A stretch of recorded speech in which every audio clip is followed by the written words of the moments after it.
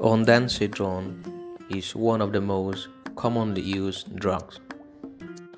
The common brand names include Zofran, Zofer, or simply Ondem.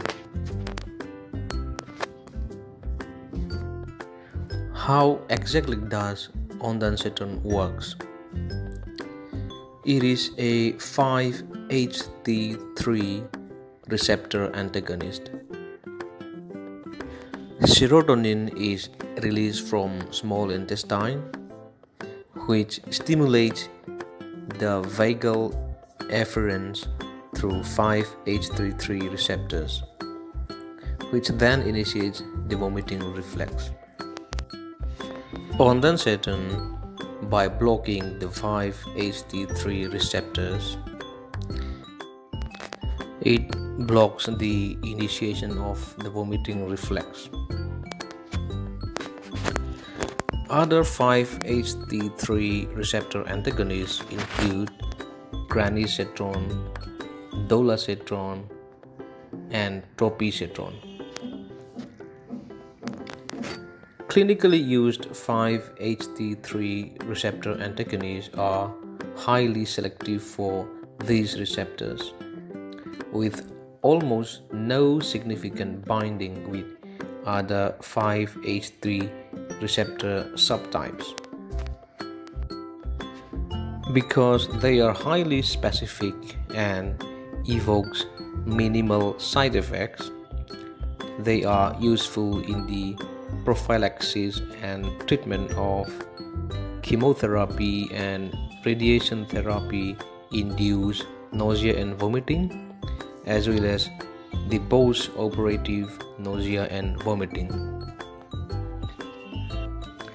They, however, are not effective in the treatment of motion induced nausea and vomiting.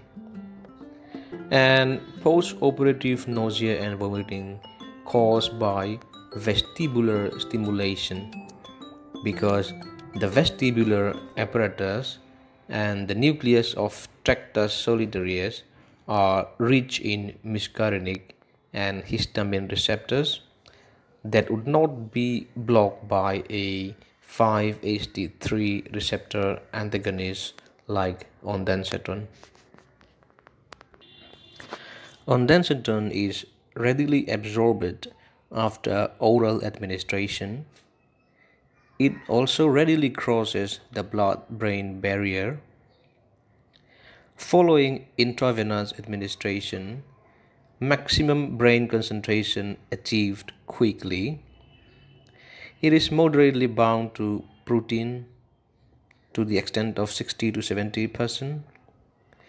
It is metabolized by cytochrome P450 enzymes in the liver, and the metabolites undergo principally renal excretion.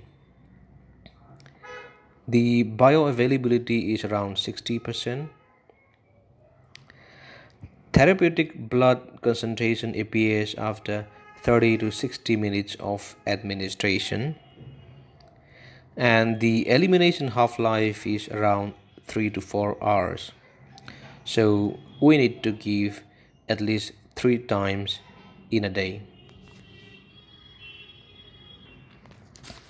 As discussed earlier ondansetron possesses specific 5-HT3 receptor antagonist properties without altering dopamine or histamine or adrenergic or cholinergic receptor activities.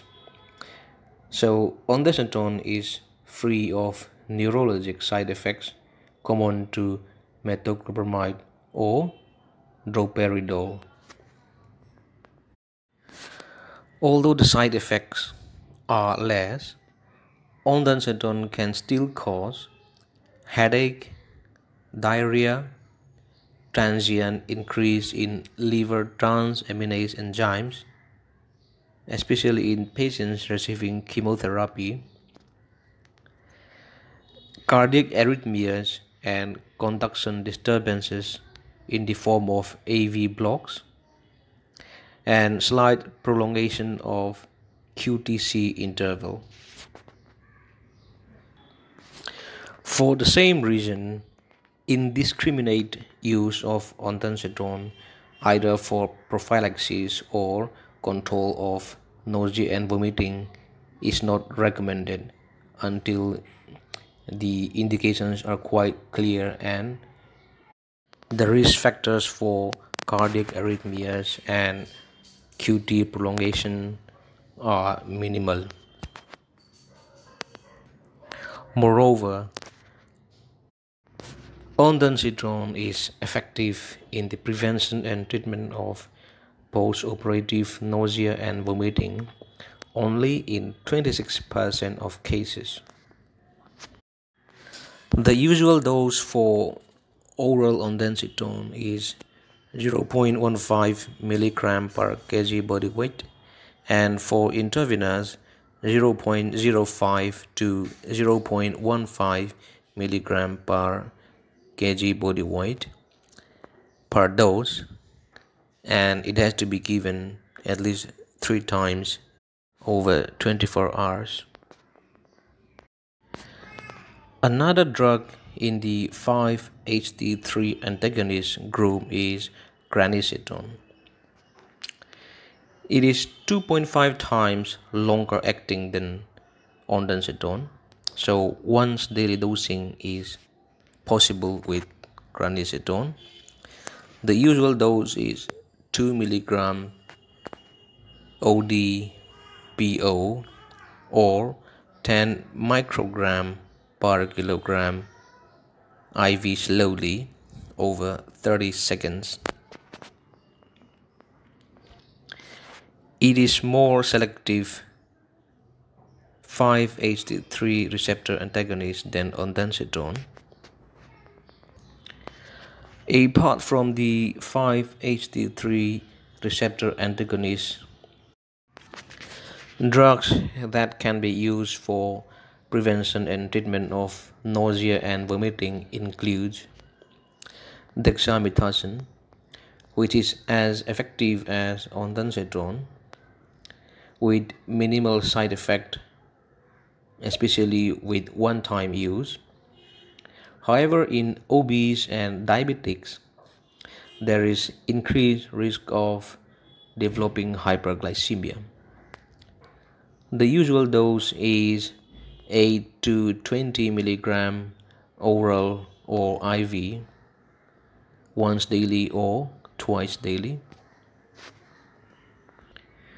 Another drug is droperidol given at low dose of 0.625 to 1.25 milligram intravenous. The problem with droperidol is prolongation of QT interval and extrapyramidal symptoms which is seen in all medications that involve dopamine receptor blockade.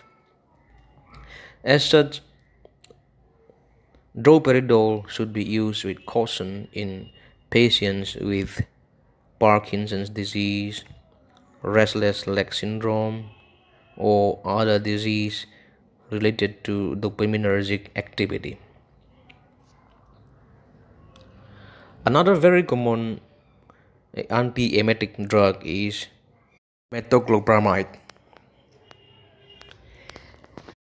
It stimulates GI tract via cholinergic mechanism which results in contraction of the lower esophageal sphincter and gastric fundus and increased gastric and small intestinal motility and decreased muscle activity in the pylorus and duodenum when the stomach contracts.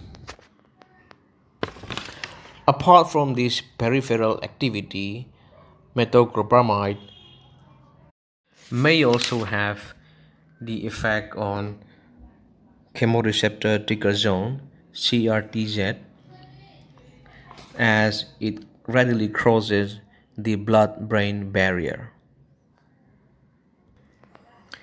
Again, Because of its anti-dopaminergic activity, metoclopramide should be used with caution in patients with Parkinson's disease, restless leg syndrome, movement disorder related to dopamine inhibition,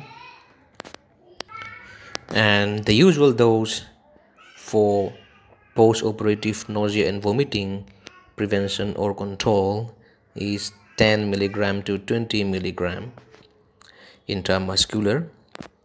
But in case of chemotherapy induced vomiting the dose is 1 to 2 milligram per kg of body weight which has to be given at least over 15 minutes